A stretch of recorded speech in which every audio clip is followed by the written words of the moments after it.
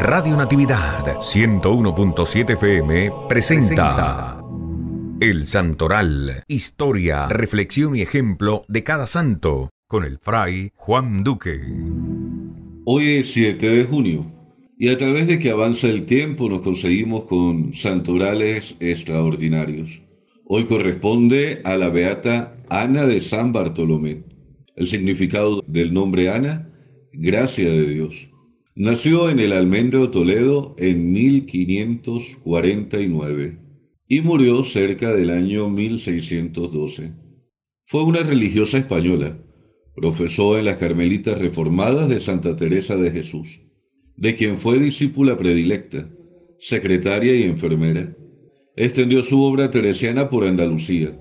Como priora de Granada y a petición suya explicó San Juan de la Cruz su cántico espiritual y publicó Fray Luis de León las obras de Santa Teresa.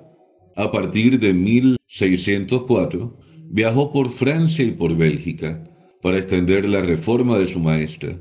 Fue beatificada por Juan Pablo II en 1981. Que la gracia de Dios, como es Ana, siempre permanezca al lado del pueblo creyente.